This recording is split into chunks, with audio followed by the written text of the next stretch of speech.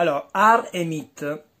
Alors, comme je l'ai déjà signalé, euh, je vous ai déjà dit plusieurs fois, l'art et les sacrés sont euh, historiquement, sont intimement liés, sont toujours liés en fait, art et sacré. Aujourd'hui, on vit une époque qui est fortement désacralisée en, Occident. On parle de l'Occident, hein, bien sûr.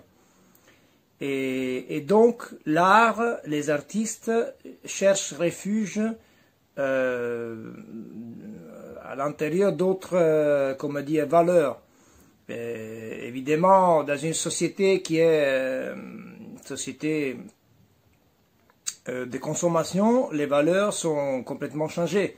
Ce ne sont plus des valeurs sacrées, ce sont des valeurs de, par exemple, d'esthétique, de design. De, ce sont des valeurs, disons, peut-être plus éphémères, mais euh, qui vont dans la direction de la vente des œuvres, et, par exemple de la de l'événementiel, de la euh, tout ce qui est en fait l'industrie du, du, loisir.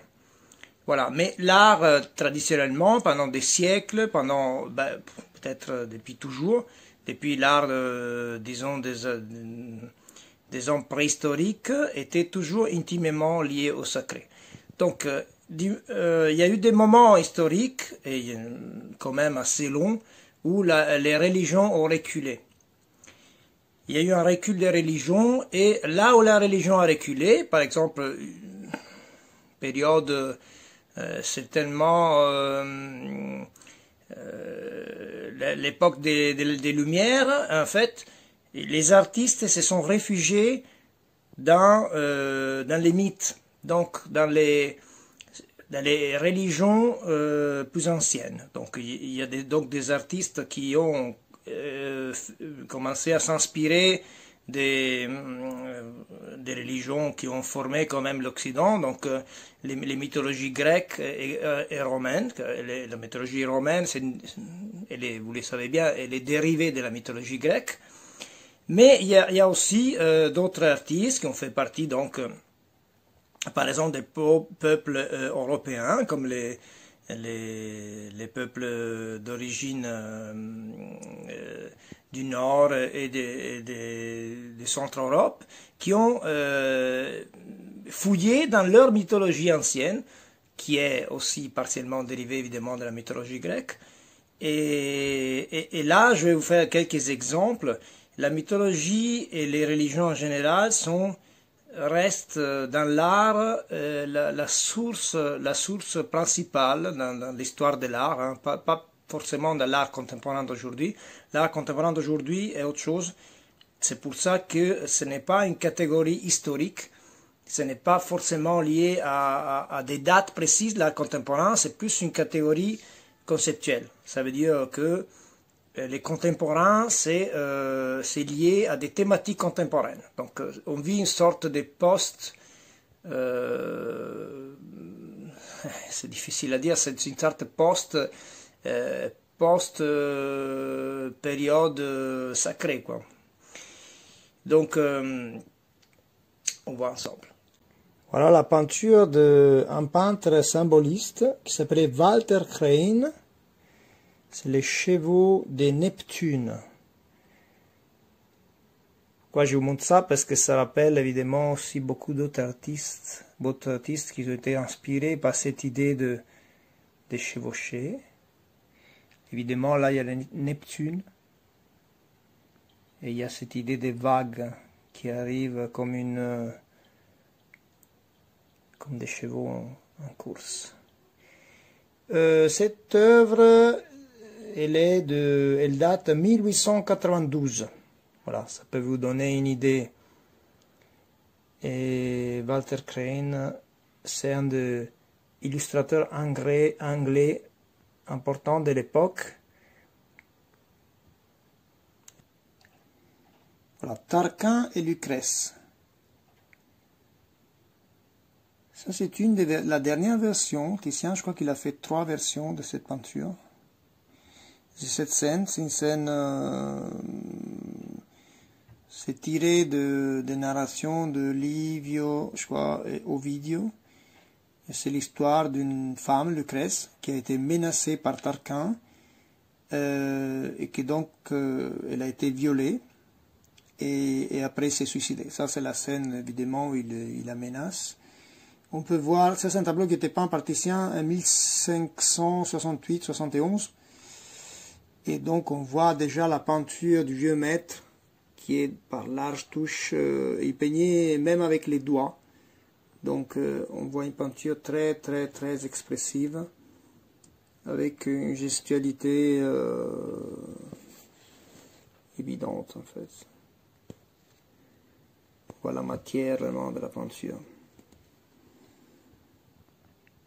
Euh, c'est une scène, c'est une narration qui est euh, historique, mais dont on n'est pas vraiment sûr que ça existait vraiment. Et lui, il a fait, je crois, trois ou quatre versions. Euh, voilà une autre peinture de Titien. c'est à peu près les mêmes années, 1570 environ. Titien, il est mort six ans après. C'était un peu les dernières œuvres de sa vie. C'est la punition de Marcia alors Marcia, c'était un faune qui avait défié Apollon à une compétition de musicale, de musique. Évidemment, Apollon qui est ici, derrière, figuré, qui joue le violon, il gagne, et la punition pour Marcia, c'est celle d'être écorché vif. Évidemment, c'est un tableau d'une violence euh, une grande violence et c'est peint à la manière des, dernières peintures de Titien avec des touches, des matières assez importantes, une expressivité euh, incroyable. Là, on voit vraiment les ciels qui s'ouvrent avec des taches. Si on pense aux artistes qui ont suivi, comme Daumier, Goya, enfin Goya avant Daumier, bien entendu, mais aussi euh, si on remonte, on va à rebours, Tintoré, El Greco, ben voilà, on voit un petit peu d'où viennent souvent l'inspiration en fait de l'œuvre, des dernières œuvres de Titien en fait, un peu sombre en fait. C'était quand même des œuvres d'un artiste à la fin de sa vie. Et voilà. Ça, c'est la présentation de Marie au Temple de Titien. C'est un tableau énorme qui, euh, que vous pouvez voir à Venise au musée de la galerie de l'Accademia. Bon, là, c'est la petite euh, Maria qui est présentée au Temple. Euh, pourquoi je vous parle de ça, même si, on n'est pas dans les thèmes de la mythologie, quoique, thèmes, déjà, vous devriez savoir que c'est une scène qui est euh, tiré euh, pas euh, donc des, des, textes officiels de la religion chrétienne, mais des, des, évangiles apocryphes. Il y a des scènes qui viennent des évangiles apocryphes qui sont... il y a l'évangile de Marie, et qui sont quand même, euh, qui ont été, qui ont eu beaucoup de succès, qui ont eu beaucoup de représentations, ça, ça en fait partie. Donc la présentation de Marie au Temple n'est décrite que dans les, dans les évangiles apocryphes. Je parle de ça parce que euh, il y a quelque chose d'intéressant, c'est que dans les livres, parfois, on a, on a ça. Donc c'est les analyses stratigraphiques des, euh, des peintures. Celles que vous voyez, par exemple, une, ça a été fait une analyse stratigraphique de la présentation de Marie au temple, donc de, la dernière figure à droite, de la, de la main de la dernière figure à droite. Donc euh, on peut voir qu'il y a une préparation un gesso et colle, il y a un film d'huile cicatif, il y a de la, du blanc de plomb plus très peu de noir, charbon, donc on imagine que c'était le dessin. Ensuite, il y a du blanc, de plomb toujours, plus un petit peu d'ocre rouge et un petit peu de noir, noir de fumée. Et c'est peut-être ça, ça, correspond peut-être encore au dessin. Et ensuite, on a, il y a du blanc avec un petit peu de noir de fumée encore. C'est peut-être encore le noir euh, du dessin. Ensuite, il y a du blanc avec de la noire de fumée et un petit peu de cinabre, c'était un rouge. Et ensuite, il y a du blanc, plus noir fumé, un peu d'ocre, jaune et rouge. Voilà, ça c'est comme ça a été composé, la couleur de la main, euh, de la main. Donc vous avez toutes les différentes... Ça c'est très intéressant parfois de voir comment les artistes arrivaient à, à trouver des couleurs dans les époques anciennes. Alors ces tableaux, c'est la dernière peinture de Titien, la Pietà. Euh, pareil, je voulais vous montrer les, analyses stratigraphiques. Il y a un prélèvement qui a été fait sous ces messieurs-là. Peut-être Saint-Jérôme, euh, probablement... Ah oui. Saint-Joseph d'Arimathère, c'est ça. En fait, ce qui est intéressant, parce que ça parle de la chair. La chair, la composition de la chair, donc selon stratigraphie, ça veut dire que vous voyez la photo de chaque différentes couches de peinture. Alors, il y a d'abord euh, du blanc de plomb, du noir charbon, probablement le dessin. Après, il y a du cinabre et du blanc de plomb. Le cinabre, c'est de la, c'est du rouge. Ensuite, il y a du blanc. Ensuite, il y a euh, un coup de pinceau des lacs rouges euh, émail. Ensuite, une autre couche de blanc de plomb et ocre rouge avec du noir de charbon. Et enfin, il y a une couche de vernis. Voilà comme euh, il a composé sa couleur chair. Bon allez, on va reparler encore d'artistes de la Renaissance. Mantegna, dont on a déjà parlé, la chambre des époux. Ce sont des fresques qui ont été réalisées à Mantoue. Là, on voit par exemple en détail. Voilà, vous voyez la Renaissance, une perspective parfaitement recréée, mais on peut se rapprocher un peu, par exemple comme ça. Là, on voit mieux. Là, on voit ce genre de choses qui faisaient les messieurs. Une perspective, euh, un trou euh, dans le plafond pour montrer le ciel. Et là, on peut voir des petits détails bien faits, mais vous regardez finalement, si on regarde des petits détails de tout près, on voit les coups de pinceau, sont entre guillemets relativement vite faits. Relativement vite fait, si on peut dire ça. Je vais vous montrer quelque chose, si on arrive à trouver une belle salle, qu'on voit bien. Voilà les scènes de la Renaissance.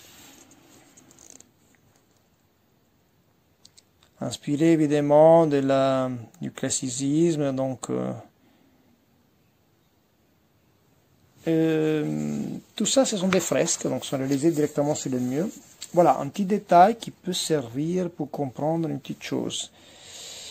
Quand vous voyez des fresques et vous voyez que les traitements est un peu différent, là vous voyez qu'il y a des petits traits, cela signifie que cette morceau-là manquait. En fait, c'est une partie de l'enduit qui était disparue. Alors, les... quand on fait la restauration, on remet un petit enduit et on essaie de peindre avec ce qui, quand on connaît la forme, on peint, on, on peint la forme qui s'intègre. Mais on doit la peindre d'une manière que ça soit toujours visible.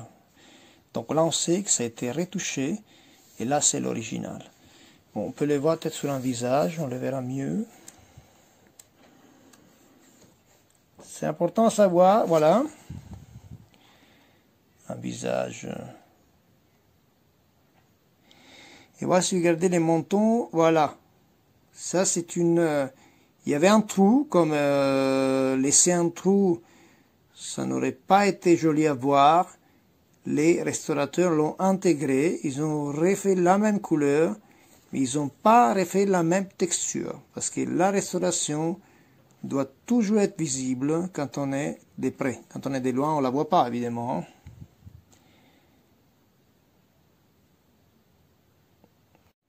Et eh ben voilà, pour aujourd'hui c'est tout. Euh, on a donc on a vu euh, quelques aspects, euh, quelques images relatives aux interprétations des mythes. donc par différents moyens, donc des cinémas, de, la peinture, des, films d'animation aussi, un film d'animation.